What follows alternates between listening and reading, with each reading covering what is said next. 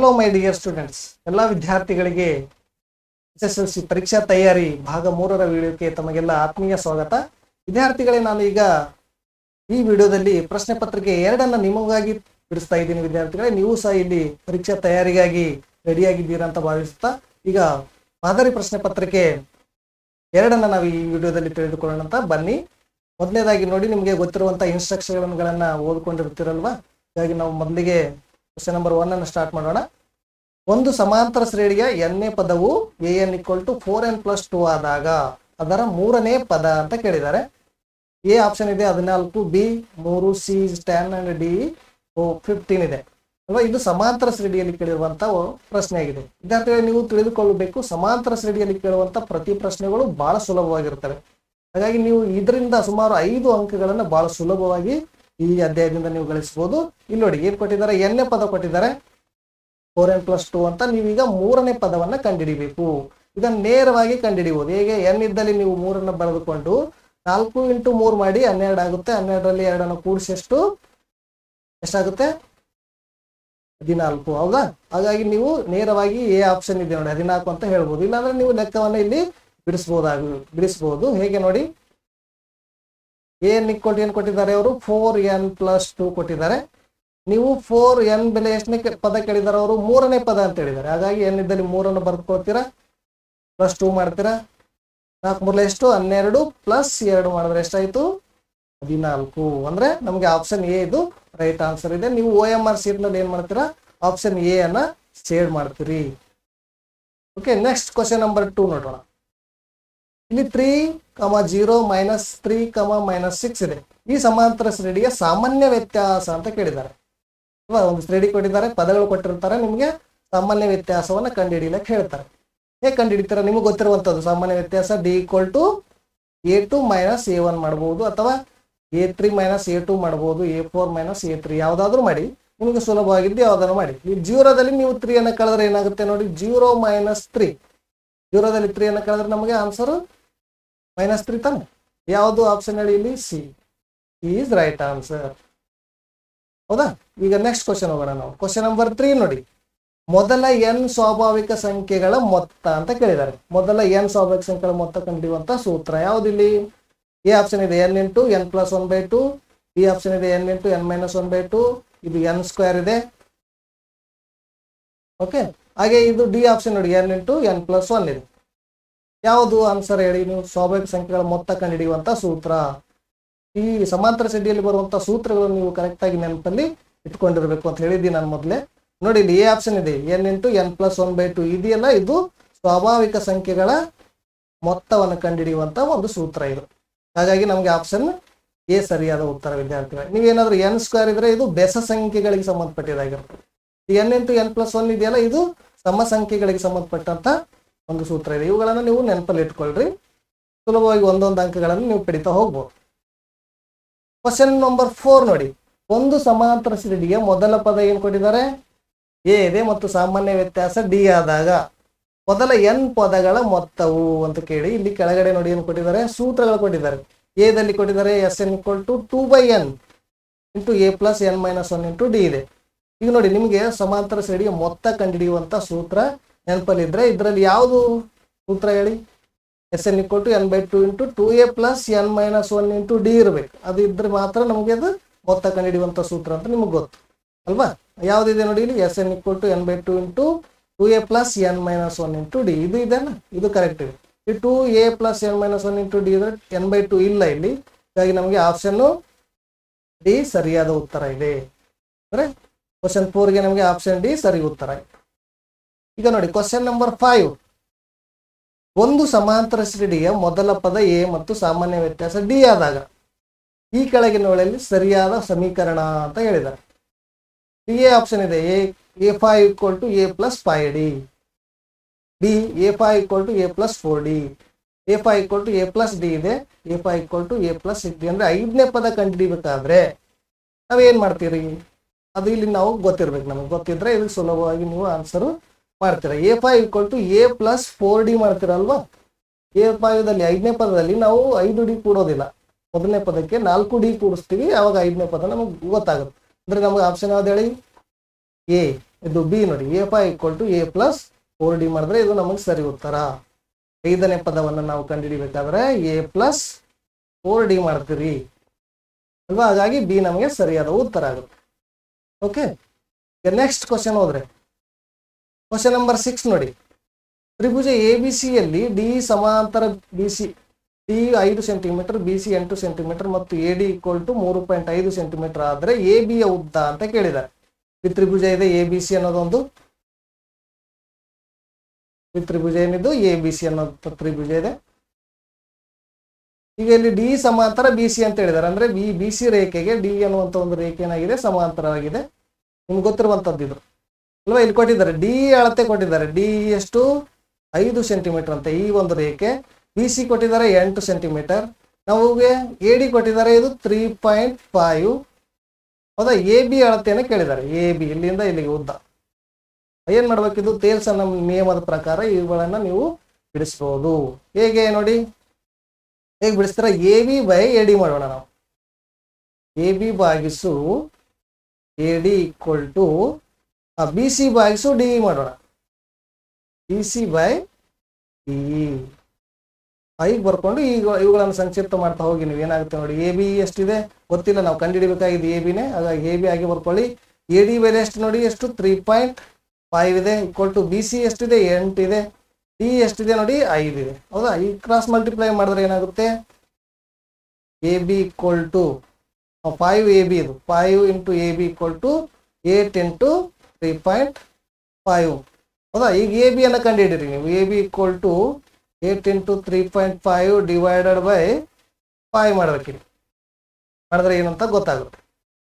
ನೋಡಿ ಈಗ eight into three point five ಮಾಡ್ತೀರಾ? ಎಷ್ಟಾಗುತ್ತೆ ಇಲ್ಲಿ? A B equal to eight into three point five ಅನ್ನು ಮಲ್ಟಿಪ್ಲೈ ಮಾಡಿ ನೀವು. ನಮಗೆ ಎಷ್ಟಾಗುತ್ತೆ? ಆನ್ಸರ್ ಟ್ವೆಂಟಿ ಏಟ್ ಆಗುತ್ತೆ. ಬೈ ಫೈವ್ ಮಾಡಿ. ಟ್ವೆಂಟಿ ಏಟ್ಗೆ ನೀವು ಐದರಿಂದ ಮತ್ತೆ ಭಾಗಾಕಾರ ಮಾಡಬೇಕು. ಐದರಿಂದ ಡಿವೈಡ್ ಮಾಡಿದ್ರೆ ಎಷ್ಟು ಬರುತ್ತೆ ನೋಡಿ? ಆನ್ಸರು ಇದೈದು ಇಪ್ಪತ್ತೈದು ಅಂದ್ರೆ ಐದು ಪಾಯಿಂಟ್ ಆರು, ಅಂದ್ರೆ ಫೈವ್ ಪಾಯಿಂಟ್ ಸಿಕ್ಸ್ ಸೆಂಟಿಮೀಟರ್ ಆಗುತ್ತೆ. ಹೌದಾ? ಯಾವ್ದು ಆನ್ಸರ್ ನೋಡಿ ಇಲ್ಲಿ? B five point six is right answer next ಹೋಗೋಣ ನಾವು. ಕ್ವಶನ್ ನಂಬರ್ ಸೆವೆನ್ ನೋಡಿ. ಪ್ರಾಪಿಜ್ಯ ಎ ಬಿ ಸಿ ಡಿಯಲ್ಲಿ ಎ ಬಿ ಸಮಾಂತರ ಸಿಡಿ ಆಗಿದೆ ಡಿ ಆಗಿದೆ. ಈ ಕೆಳಗಿನವುಗಳಲ್ಲಿ ಸರಿಯಾದ ಸಂಬಂಧವು ಅಂತ ಕೇಳಿದಾರೆ. ಇದು ಒಂದು ಎ ಬಿ ಸಿ ಡಿ ಅನ್ನೋದೊಂದು ಇದೆ. ಅಲ್ವಾ? ಇದರಲ್ಲಿ ನಮ್ಗೆ ಯಾವ್ದು ಸಂಬಂಧ ಸರಿ ಇದೆ ಅಂತ ಕೇಳಿದಾರೆ. A O by O D equal to B O by O C ಅಂತ ಹೇಳಿದಾನೆ. A O by O D ಇನ್ನೊಂದೇನು? B O by O C ನಿಮಗೆ ಇಲ್ಲಿ ಈ ರೀತಿ ತ್ರಾಪಿಜ್ಯ ಕೊಟ್ಟರೆ ನಮಗೆ ಎರಡು ರೇಖೆಗಳು ಎ ಬಿ ಮತ್ತು ಸಿ ಬಿ ಸಮಾಂತರ ರೇಖೆಗಳಾಗಿದ್ರೆ O A equal to O C O B equal to O D ಈ ರೀತಿ ಒಂದು ಸಮ ಸಾಮ್ಯತೆ ಇರುವಂತಹ ಒಂದು ಸಮೀಕರಣವನ್ನು ನೀವು ಹುಡುಕ್ಬೇಕಿಲ್ಲಿ.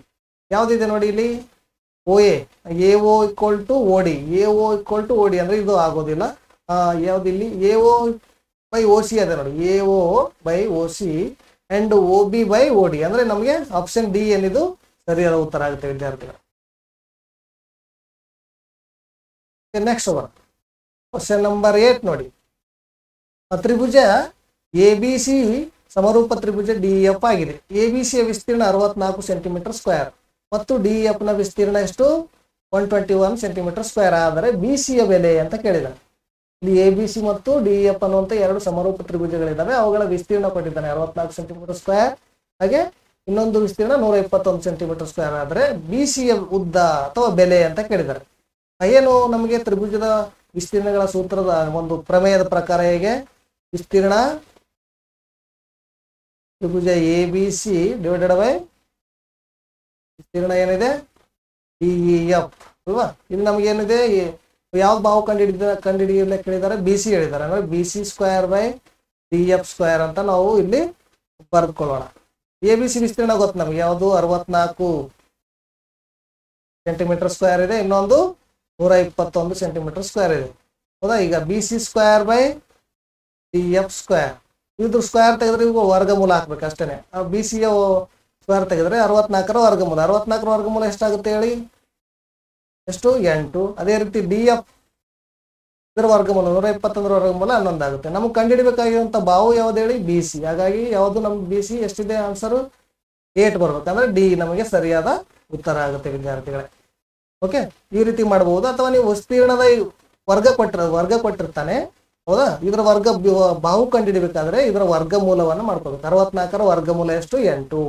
ನೂರ ಇಪ್ಪತ್ತೊಂದರ ವರ್ಗಮೂಲ ಹನ್ನೊಂದು ಅಂತ ನೇರವಾಗಿ ಬಿಡಿಸ್ಕೊಂಡು ನೀವು ಇಲ್ಲಿ ಆನ್ಸರ್ನ ಹೇಳ್ಬೋದು. ಕ್ವಶನ್ ನಂಬರ್ ನೈನ್ ನೋಡಿ. ಚಿತ್ರದಲ್ಲಿ ತ್ರಿಭುಜ ಎ ಬಿ ಸಿಯು ಲಂಬಕೋನ ತ್ರಿಭುಜವಾಗಿದೆ. ಹಾಗಾದರೆ ಬಿ ಸಿ ಸ್ಕ್ವೇರ್ ಅಂತ ಕೇಳ್ತಾನೆ ಆಪ್ಷನ್ ಎ ಇದೆ A B square plus A C square B ಇದೆ A C square minus A B square and C ಇದೆ A C square minus B C square D ಇದು A B square into B C square ಇದೆ. ಅಲ್ವಾ? ನೋಡಿ ಇಲ್ಲಿ ಯಾವ್ದು ನಾವು ಅನ್ವಯಿಸ್ಬೇಕು ಇಲ್ಲಿ? ಲಂಬಕೋನ ತ್ರಿಭುಜ ಇದು ಯಾವುದು? ಪೈಥಾಗೋರಸ್ ನಿಯಮವನ್ನು ಅನ್ವಯಿಸಿ ನೀವು ಇಲ್ಲಿ ಬಿಡಿಸ್ಬೇಕು. ಪೈಥಾಗೋರಸ್ ನಿಯಮ ಏನಿದೆ ಹೇಳಿ? A C square equal to A B square plus B C square ಅಂತ ಹೇಳಿದೆ. ನಾವು ಕಂಡುಹಿಡಬೇಕಾಗಿದೆ ಯಾವುದು? ಬಿ ಸಿ ಸ್ಕ್ವೇರ್ ಕಂಡುಹಿಡಬೇಕು. ಅಂದ್ರೆ ಇದು. ಇದು ಬಿ ಸಿ ಸ್ಕ್ವೇರ್ ಕಂಡುಹಿಡಬೇಕಾಗಿದ್ರೆ ಎ ಬಿ ಅನ್ನ ನೀವು ಲೆಫ್ಟ್ ಹ್ಯಾಂಡ್ ಸೈಡ್ ತೆಗೆದುಕೊಂಡು ಬನ್ನಿ. A square equal to plus B ಇದ್ದಿದ್ದು ಏನಾಗುತ್ತೆ? ಮೈನಸ್ ಎ ಬಿ ಸ್ಕ್ವೇರ್ ಆಗುತ್ತೆ. ಈಕ್ವಲ್ ಟು ಏನು ಉಳಿತಿಲ್ಲಿ ಬಿ ಸಿ ಸ್ಕ್ವೇರ್ ಇದು ಎಲ್ಲಿದೆ ನೋಡಿ? A C square minus A B square A C square minus A B square ಅಂದ್ರೆ ಬಿ ಆಪ್ಷನ್ ನಮಗೆ ಸರಿಯಾದ ಉತ್ತರ, ವಿದ್ಯಾರ್ಥಿಗಳು. ನೆಕ್ಸ್ಟ್ ಹೋಗೋಣ. ಕೊಟ್ಟಿರುವ ಚಿತ್ರದಲ್ಲಿ ಎಸ್ ಟಿ ಸಮಾಂತರ ಕ್ಯೂ ಆರ್ ಆದರೆ P S by S Q equal to ಅಂತ ಕೇಳಿದ್ದಾರೆ. ಚಿತ್ರ ಕೊಟ್ಟಿದ್ದಾರೆ ಒಂದು ಪಿ ಕ್ಯೂ ಆರ್ ತ್ರಿಭುಜ. ಎಸ್ ಟಿ ಅನ್ನೋದು ಏನಿದೆ? ರೇಖೆಯಲ್ಲಿ ಇದು ಯಾವುದಕ್ಕೆ ಕ್ಯೂ ಆರ್ ಅನ್ನುವಂಥ ರೇಖೆಗೆ ಏನಾಗಿದೆ ಸಮರೂಪ ಆಗಿದೆ ಎರಡು ಸಮರು ಯಾವುದು? ಸಮಾಂತರ ರೇಖೆಗಳಾಗಿದೆ ನಮ್ಗೆ ಕೇಳಿದ್ದಾರೆ ಅವರು P S by S Q P S by S Q ಆದರೆ ಇನ್ನೇನಾಗ್ಬೇಕು ಹೇಳಿ? ಮುಂದೆ ನಮಗೆ answer P T by T R ಆಗಬೇಕು. ಅಲ್ವಾ? P T by T R ಎಲ್ಲಿದೆ ನೋಡಿ? ಆಪ್ಷನ್ ಎ ಇದೆ. P S by T R ಇದೆ. P T by T R ಬೇಕು. P T by T R ಎಲ್ಲಿ ಡಿ ಆಪ್ಷನ್ ಅಲ್ಲಿ ಇದೆ ಅಂದ್ರೆ ಪಿ ಟಿ ಭಾಗಿಸು ಟಿ ಆರ್ ಇದು ನಮಗೆ ಸರಿಯಾದ ಆನ್ಸರ್ ಆಗುತ್ತೆ. ಓಕೆ ಗೊತ್ತಾಯ್ತು ಅಂತ ಅನ್ಕೊಂಡಿದ್ದೀನಿ ಕ್ವಶನ್ ನಂಬರ್ ಎಲೆವೆನ್ ನೋಡಿ. ರೇಖಾತ್ಮಕ ಸಮೀಕರಣಗಳ ಜೋಡಿಯು ಎಕ್ಸ್ ಪ್ಲಸ್ ವಾಯ್ ಕೊಟ್ಟು ನೈನ್ ಮತ್ತು ಎಕ್ಸ್ ಮೈನಸ್ ವಾಯ್ ಕೊಟ್ಟು ಒಂದು ಆದರೆ ಎಕ್ಸ್ ಮತ್ತು ವಾಯ್ನ ಬೆಲೆಗಳು ಅಂತ ಕೇಳಿದ್ದಾರೆ. ಕ್ರಮವಾಗಿ ಯಾವ್ದಿರ್ಬೋದು ಮತ್ತೆ ಬಹಳ ಈಸಿ ಇದೆ. ಇದೇನು ಸುಲಭವಾಗಿ ನೀವು ಬಿಡಿಸ್ತಾರೆ? ಎಕ್ಸ್ ಪ್ಲಸ್ ವಾಯ್ ಕೊಟ್ಟು ಒಂಬತ್ತು ಆಗಬೇಕು. ಎಕ್ಸ್ನಲ್ಲಿ ವಾಯ್ನ ಕಳೆದ್ರೆ ಒಂದಾಗಬೇಕು ಯಾವುದು ಕೊಟ್ಟಿದ್ದಾರೆ? ಇಲ್ಲಿ ಆಪ್ಷನ್ ಬೆಲೆ ಕೊಟ್ಟಿರುವಂತ ಬೆಲೆಗಳನ್ನೇ ನೀವು ಚೆಕ್ ಮಾಡಿ ನೋಡ್ಬೇಕು. ಆರಲ್ಲಿ ಮೂರನ್ನು ಕೂಡಿ ಒಂಬತ್ತಾಗುತ್ತೆ. ಆರಲ್ಲಿ ಮೂರನ್ನು ಕಳೆದ್ರೆ ಎಷ್ಟು ಮೂರಾಗುತ್ತೆ. ನಮಗೆ ಒಂದು ಆನ್ಸರ್ ಬರಬೇಕು ಅಂದ್ರೆ ಯಾವುದು? ಐದು, ನಾಲ್ಕು ನೋಡಿ. ಐದು, ನಾಲ್ಕು ಕೂಡಿದ್ರೆ ಒಂಬತ್ತಾಗುತ್ತೆ. ಐದರಲ್ಲಿ ನಾಲ್ಕನ್ನು ಕಳೀರಿ, ಏನಾಗುತ್ತೆ? ಒಂದಾಗುತ್ತೆ ಅಲ್ವಾ? ಹಾಗಾಗಿ ಬಿ ನಮಗೆ ಸರಿಯಾದ ಆನ್ಸರ್ ಆಗುತ್ತೆ. ಅಂದ್ರೆ X plus Y equal to nine ಆಗುತ್ತೆ. ಅಂದ್ರೆ ಫೈವ್ ಪ್ಲಸ್ ಫೋರ್ ಮಾಡ್ರಿ ನೈನ್ ಆಗುತ್ತೆ. ಇದೇ ಫೈವ್ನಲ್ಲಿ ನಾವು ಫೋರ್ ಅನ್ನ ಕಳೆದ್ರೆ ಒನ್ ಆಗುತ್ತೆ. ಅಂದ್ರೆ ನಮಗೆ ಫೈವ್ ಮತ್ತು ಫೋರ್ ಸರಿಯಾದ ಆನ್ಸರ್ ಅಂದ್ರೆ ಬಿ ಆಪ್ಷನ್ ನೀವು ಇಲ್ಲಿ ಶೇಡ್ ಮಾಡಬೇಕು. ಓಕೆ ನೆಕ್ಸ್ಟ್ ಹೋಗೋಣ ನಾವು. ಕ್ವಶನ್ ನಂಬರ್ ನೋಡಿ ಈಗ.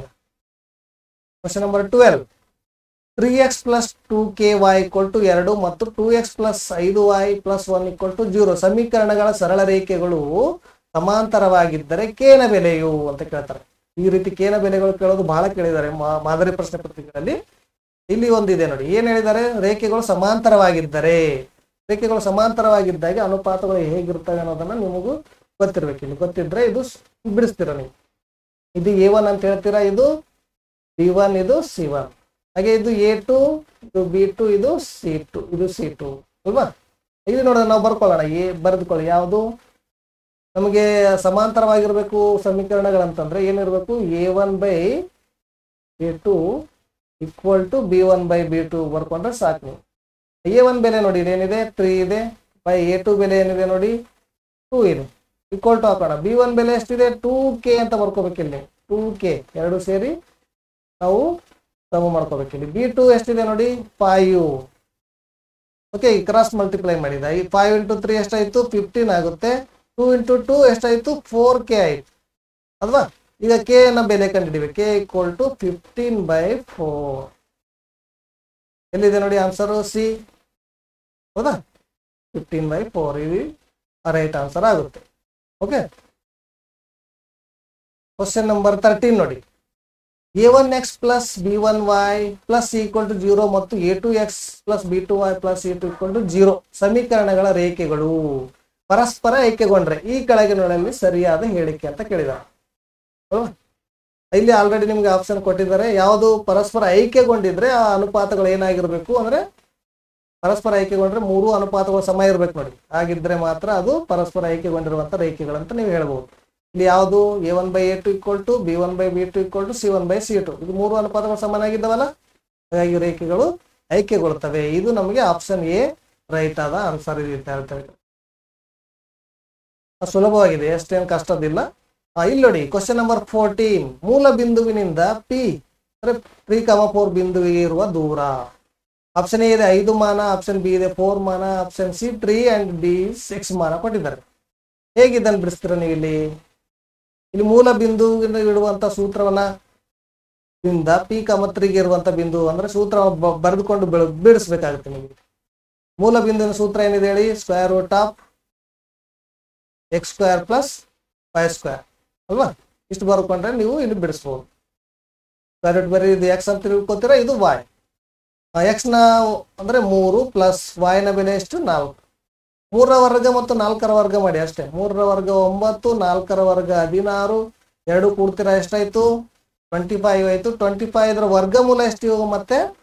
ಐದು. ಅಂದ್ರೆ ಎಷ್ಟಾಗುತ್ತೆ ನೋಡಿ ಇಲ್ಲಿ? ಐದು ಮಾನಗಳು. ಇದು ನೀವು ಸೂತ್ರವನ್ನು ಬರೆದುಕೊಂಡು ಬಿಡಿಸಬೇಕು. ಇಲ್ಲಾಂದ್ರೆ ನೇರವಾಗಿ ನೀವು ಬಿಡಿಸ್ತೀನಿ ಅಂದ್ರೆ ಮೂರರ ವರ್ಗ ಮತ್ತು ನಾಲ್ಕರ ವರ್ಗ ಅಂತ ಮಾಡೋದು, ಅವುಗಳನ್ನು ಕೂಡಿಸೋದು, ಅವುಗಳ ವರ್ಗಮೂಲ ಮಾಡೋದು. ಓಕೆ ಮಾಡ್ಬೋದು. ಯಾವ ಯಾವ ವಿಧಾನ ನಿಮಗೆ ಸುಲಭ ಅನಿಸ್ತೋ ಅದನ್ನು ನೀವು ಇಲ್ಲಿ ಮುಂದುವರಿಸ್ಕೊಂಡು ಹೋಗಿ ಕ್ವಶನ್ ನಂಬರ್ ಸೆವೆನ್ ನೋಡಿ. ಕ್ವಶನ್ ನಂಬರ್ ಫಿಫ್ಟೀನ್ ನೋಡಿ ಸಾರಿ ಎ ಇದೆ two comma four B four comma one ಬಿಂದುಗಳ ನಡುವಿನ ದೂರ ಅಂತ ಹೇಳಿದಾನೆ ಎರಡು ಬಿಂದುಗಳು ಕೊಟ್ಟಿದ್ದಾನೆ. ಎ ಬಿ ಬಿಂದುಗಳ ನಡುವಿನ ದೂರ ಕಂಡುಹಿಡಿಬೇಕಿಲ್ಲ ನೀವು ಮತ್ತೆ. ನಡುವಿನ ದೂರ ಕಂಡುಹಿಡಿಬೇಕಾದ್ರೆ ನಮಗೆ ಮತ್ತೆ ಅದೇ ಸೂತ್ರ ಗೊತ್ತು. X one Y one X two Y two ಬಿಂದುಗಳ ನಡುವಿನ ದೂರದ ಸೂತ್ರ. ಏನಿದೆ ಹೇಳಿ? A B to square square root of X two minus X one whole square plus Y square. ಇದು ನಮ್ಮದು ಸೂತ್ರ. ಬಿಂದುಗಳ ನಡುವಿನ ದೂರ ಕಂಡುಹಿಡಿಯುವಂಥದ್ದು. ಏನಾದರೂ ಸ್ಯಾಟ್ ವೇ ಇದ್ರೆ ನೀವು ಮಾಡ್ಬೋದು. ಇದು ಸ್ಯಾಟ್ ವೇ ಯಾವ್ದಂತ ನೋಡೋಣ. ಎಕ್ಸ್ ಟು ಯಾವ್ದು ಬೆಲೆ ನೋಡಿ? ಫೋರ್ ಇದೆ. ಫೋರ್ ಮೈನಸ್ ಟೂ ಸ್ಕ್ವೇರ್ ಮಾಡ್ತೀರಾ? Plus one minus four square ಮಾಡ್ತೀರಾ? ಅಲ್ವಾ?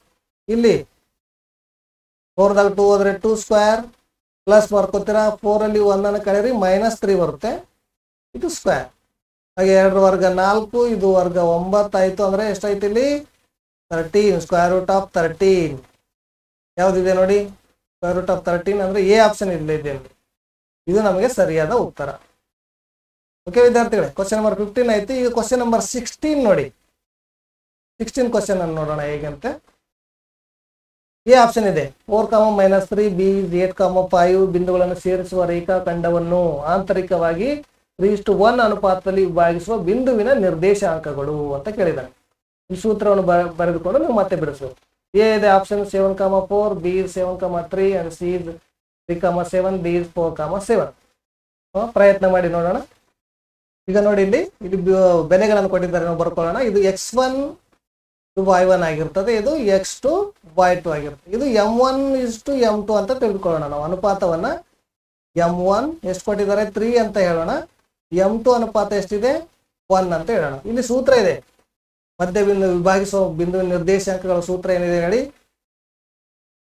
M one X two plus M two X one divided by ಎಷ್ಟು ಏನು? M one plus M two ಮಾಡ್ತೀರಾ? ಹೌದಾ? ಹಾಗೆ ಯಾವುದು? Two plus M two Y one divided by ಏನು? M one plus M two ಮಾಡುತ್ತೆ. ಈ ಸೂತ್ರವನ್ನು ಅನ್ವಯಿಸಿಕೊಂಡು ನೀವು ಈ ಲೆಕ್ಕವನ್ನು ಬಿಡಿಸ್ಬೇಕಾಗಿತ್ತು. ಮಧ್ಯಬಿಂದು ನಿರ್ದೇಶಾಂಕಗಳನ್ನು ಕಂಡುಹಿಡೋಣ ಇಲ್ಲಿ ಎಂ ಒನ್ ಎಷ್ಟು ನೋಡಿ? ತ್ರೀ ಇಂಟು ಎಕ್ಸ್ ಟು ಬೆಲೆ ಏನಿದೆ?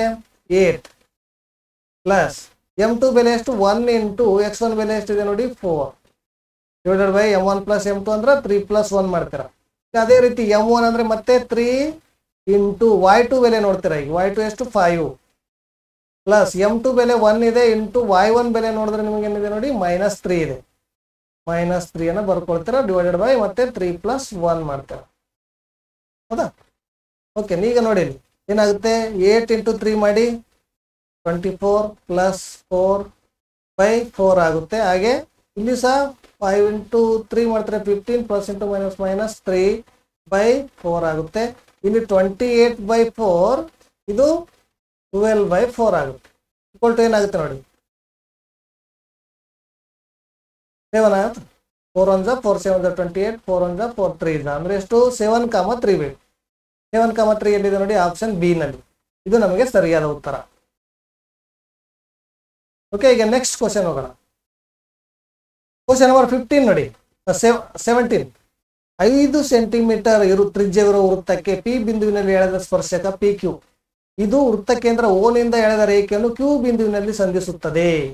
ಓ ಕ್ಯೂ ಹನ್ನೆರಡು ಸೆಂಟಿಮೀಟರ್ ಆದರೆ ಪಿ ಕ್ಯೂನ ಉದ್ದ ಅಂತ ಕೇಳಿದ್ದಾರೆ. ಏನು ಇಲ್ಲಿ? ಪಿ ಕ್ಯೂನ ಉದ್ದವನ್ನ ನೀವು ಕಂಡುಹಿಡಿಬೇಕು ಚಿತ್ರ ಕೊಟ್ಟಿದ್ದಾರೆ ನೋಡಿ ಇಲ್ಲಿ. ಓ ಕ್ಯೂ ಏನಿದೆ? ಹನ್ನೆರಡು ಸೆಂಟಿಮೀಟರ್ ಅಂತ ಹೇಳಿದ್ದಾರೆ.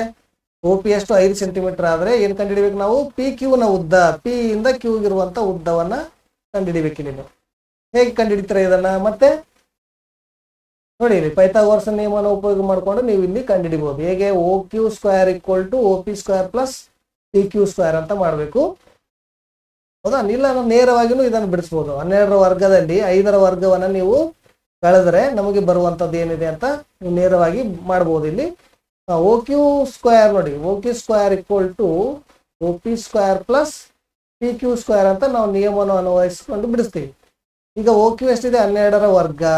ಓ ಪಿ ಎಷ್ಟಿದೆ ನೋಡಿ? ಐದರ ವರ್ಗ ಪ್ಲಸ್ ಪಿ ಕ್ಯೂ ಅನ್ನ ಕಂಡುಹಿಡಿಬೇಕು ನಾವು. ಪಿ ಕ್ಯೂ ಸ್ಕ್ವೇರ್ ಹಾಗೆ ಬರ್ಕೊತೀರಾ?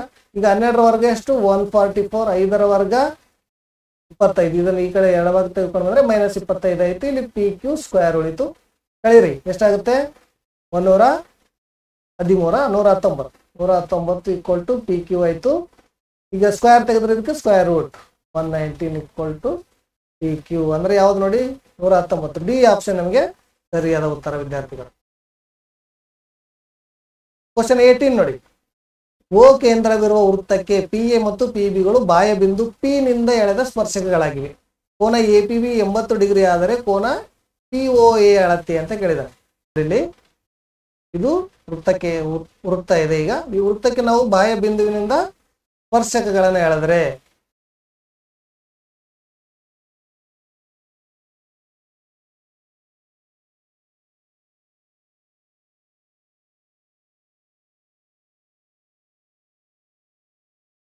ಇದು ಪಿ ಎ ಮತ್ತು ಪಿ ಪಿ ಬಿಂದು ಅಂತ ಹೇಳಿದ್ದಾರೆ ಅಲ್ವಾ? ಪಿ ಬಿಂದು ಯಾವುದು ಈಗ? ಇದು ಪಿ ಬಿಂದು, ಆದ್ರೆ ಇದು ಪಿ ಎ ಇದು ಪಿ ಬಿ ಈಗ ಎ ಪಿ ಬಿ ಯಾವುದು ಇಲ್ಲಿ? ಎ ಪಿ ಬಿ ಈ ಕೋನ ಎಷ್ಟಿದೆ ಅಂತ ಹೇಳಿದ್ದಾರೆ? ಎಂಬತ್ತು ಡಿಗ್ರಿ, ಆದರೆ ಪಿ ಒ ಎ ಅಳತೆ ಅಂದ್ರೆ ಓಕೆನ ಇಲ್ಲಿದೆ. ಪಿ ಒ ಎ ಇದು ಎಷ್ಟಿರುತ್ತೆ ಅಂತ ಕೇಳಿದ್ದಾರೆ. ಅಂದ್ರೆ ಎಷ್ಟು ಇಲ್ಲಿ? ತ್ರಿಜ್ಯಗಳ ನಡುವಿನ ಕೋನ ಮತ್ತು ಸ್ಪರ್ಶಗಳ ನಡುವಿನ ಕೋನಗಳ ಮೊತ್ತ ಎಷ್ಟಾಗಬೇಕು ನಮಗೆ? ನೂರ ಎಂಬತ್ತು ಡಿಗ್ರಿ ಆಗ್ಬೇಕು, ಅಲ್ವಾ? ಹಾಗಾಗಿ ಇಲ್ಲಿ ಎಂಬತ್ತು ಕೊಟ್ಟಿದ್ದಾರೆ ಅಂದ್ರೆ ಇನ್ನೂ ಎಷ್ಟು ಇರ್ಬೇಕು ಹೇಳಿ ಇಲ್ಲಿ? ಹಂಡ್ರೆಡ್ ಇರ್ಬೇಕು ತಾನೆ? ನೂರ ಎಂಬತ್ತರಲ್ಲಿ ಎಂಬತ್ತನ್ನ ಕಳೆಯಿರಿ, ನಮಗೆ ಎಷ್ಟು ಬರುತ್ತೆ ಆನ್ಸರ್? ನೂರು ಡಿಗ್ರಿ. ಇವೆರಡು ಕೂಡಿದ್ರೆ ನಮಗೆ ಒನ್ ಏಟಿ ಆಗ್ಬೇಕು, ಗೊತ್ತಿರುವಂತ ನಿಯಮ. ಹಾಗಾಗಿ ಇಲ್ಲಿ ಏಟಿ ಇದೆ ಅಂದ್ರೆ ಇದು ಹಂಡ್ರೆಡ್ ಇರಲೇಬೇಕು. ಅಂದ್ರೆ ಕೋನ ಎ, ಎಷ್ಟು? ಆಪ್ಷನ್ ಎ ಎಷ್ಟು ಇಲ್ಲಿ ನೂರು ಡಿಗ್ರಿ. ಓಕೆ ನೆಕ್ಸ್ಟ್ ಹೋಗೋಣ ನಾವು. ಓಕೆ ವಿದ್ಯಾರ್ಥಿಗಳಿಗೆ ಕ್ವಶನ್ ನಂಬರ್ ನೈನ್ಟೀನ್ ನೋಡಿ. ಎರಡು ಅನುಕ್ರಮ ಪೂರ್ಣಾಂಕಗಳ ಗುಣಲಬ್ಧವು ಮುನ್ನೂರ ಆರು ಆಗಿದೆ. ಈ ಹೇಳಿಕೆಯ ಗಣತೀಯ ರೂಪ ಅಂತ ಕೇಳಿದ್ದಾರೆ. ಗಣತೀಯ ರೂಪವನ್ನು ಬರೀಬೇಕು. ಈ ಎರಡು ಅನುಕ್ರಮ ಪೂರ್ಣಾಂಕಗಳ ಗುಣಲಬ್ಧ ಅಂತ ಹೇಳಿದ್ರೆ ಅನುಕ್ರಮ ಪೂರ್ಣಾಂಕಗಳಂದ್ರೆ ಯಾವ ಹೇಳಿ? ಒಂದು, ಎರಡು, ಮೂರು ಇವೆಲ್ಲ ಅನು, ಅನುಕ್ರಮ ಪೂರ್ಣಾಂಕಗಳು. ಇವುಗಳ ಗುಣಲಬ್ಧ ಅಂತ ಹೇಳಿದ್ದಾನೆ. ಅಂದ್ರೆ ಎಕ್ಸ್ ನಾವು ಎಕ್ಸ್ ಅಂತ ಒಂದು ಪೂರ್ಣಾಂಕ ಅಂತ ತಿಳಿದುಕೊಂಡ್ರೆ ಇನ್ನೊಂದು ಏನಂತ ತಿಳಿದುಬಹುದು ಎಕ್ಸ್ ಪ್ಲಸ್ ಒನ್ ಅಂತ ಹೇಳೋಣ. ಇವೆರಡರ ಗುಣಲಬ್ಧ ಎಷ್ಟಾಗುತ್ತೆ? ನಮಗೆ ಮುನ್ನೂರ ಆರು ಅಂತ ಹೇಳಿದ. ಗುಣಲಬ್ಧ ಮುನ್ನೂರ ಆರು ಅಂದ್ರೆ ಏನ್ ಮಾಡ್ಬೇಕು ನೀವು? ಎಕ್ಸ್ ಮತ್ತು ಎಕ್ಸ್ ಪ್ಲಸ್ ಒನ್ ಅನ್ನ ಮಲ್ಟಿಪ್ಲೈ ಮಾಡಿ. X into X plus one equal to ಎಷ್ಟಾಗ್ಬೇಕು ಹೇಳಿ? ತ್ರೀ ನಾಟ್ ಸಿಕ್ಸ್ ಆಗ್ಬೇಕು. ಮಲ್ಟಿಪ್ಲೈ ಮಾಡಿ. X into X X square plus X ಒನ್ಲೆ X ಇದು ಪ್ಲಸ್ ಇದ್ದಿದ್ದನ್ನ ಎಡವಾಗಿ ತೆಗೆದುಕೊಂಡು ಬನ್ನಿ. Minus three naught six equal to zero ಇದಕ್ಕೆ ಯಾವ್ದು ಸರಿ ಹೊಂದುತ್ತೆ ನೋಡಿ X square plus two X minus three naught six ಇದೆ. X square minus two X minus three naught six ಇದೆ. X square plus X minus three naught six equal to zero ಇದೆ ಇಲ್ಲಿದೆ ನೋಡಿ. ಹೌದಾ? ಇದು. ಅಂದ್ರೆ ಆಪ್ಷನ್ ಸಿ ನಮಗೆ ಸರಿಯಾದ ಉತ್ತರ. ಓಕೆ ಈಗ ಕ್ವಶನ್ ನಂಬರ್ ಟ್ವೆಂಟಿ ನೋಡಿ. ಒಂದು ವರ್ಗ ಸಮೀಕರಣವು ಹೊಂದಿರಬಹುದಾದ ಮೂಲಗಳ ಗರಿಷ್ಠ ಸಂಖ್ಯೆ ಅಂತ ಹೇಳ್ತಾರೆ.